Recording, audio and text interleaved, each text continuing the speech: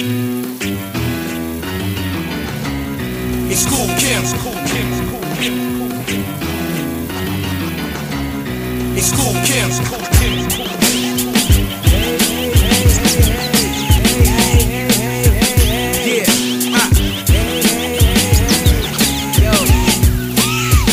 got a chip on my shoulder the size of a boulder. Up, family, it's your friendly neighborhood fly guy, Kool Kim, and this is your morning motivation, right?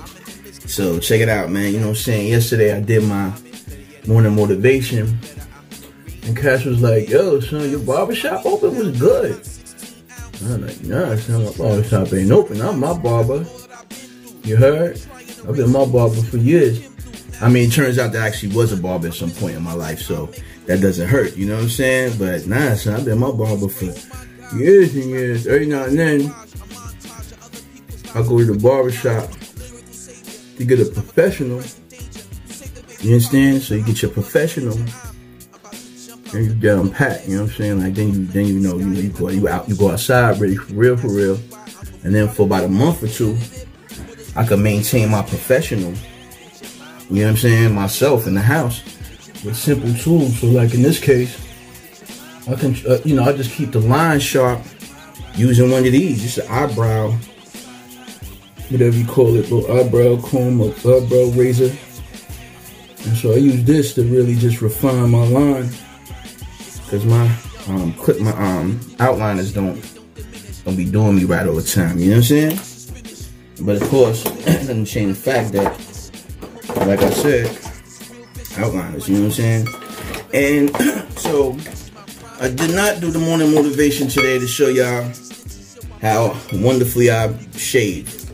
With the morning motivation today is more about being resourceful. Yo, we're gonna learn the difference between riches and resourceful in a minute, fam. Like, what's the real difference between cats that just got money and cats that are rich in resourcefulness, rich in ingenuity, uh, sensibility, practicality, all of those things. We're gonna find out where the real richness lies. if this continues to go on, eventually money ain't gonna be able to buy you certain things. You understand what I'm saying? Because excuse me, people ain't gonna want to be around you, ain't gonna rock with you, ain't gonna want to know what you're talking about, of that, because you're gonna be distanced.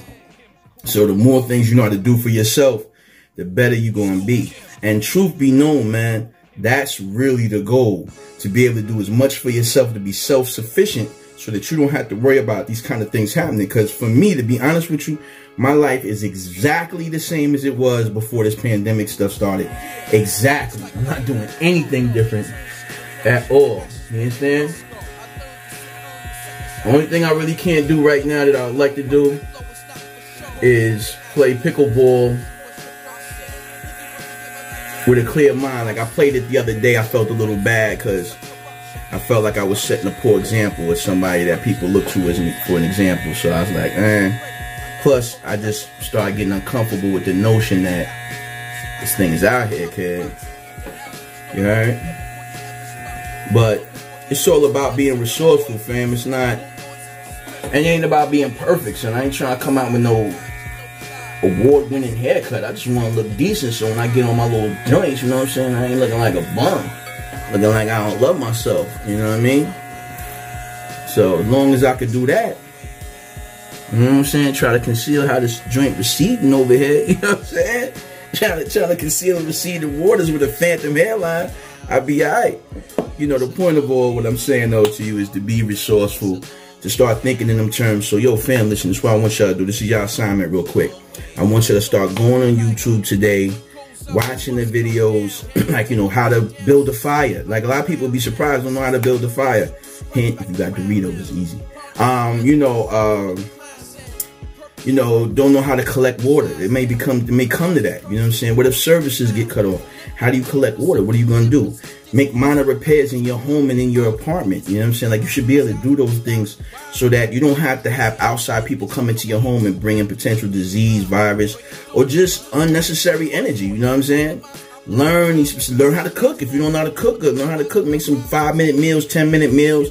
You know how to make food in bulk because you may find yourself in a situation where you're feeding more than just your family because the community situation re requires it. You never know. You know what I'm saying? You may be, you never know. So since we never know, let's function in a very safe and secure fashion, all right? So with all that being said, man, I just want you to think about resourcefulness. How resourceful are you? how how how much can you do with your own two hands? You know what I'm saying? How much can you fix? How much can you build? What can you till? What can you grow? What can you destroy and displace? Think about those things and then apply it to the situation to get yourself game ready because if the revolution happened like everybody be talking, how many is really ready? You heard? Alright, shout out to your friendly neighborhood fly guy, Kool Kim, and I got to get. Peace.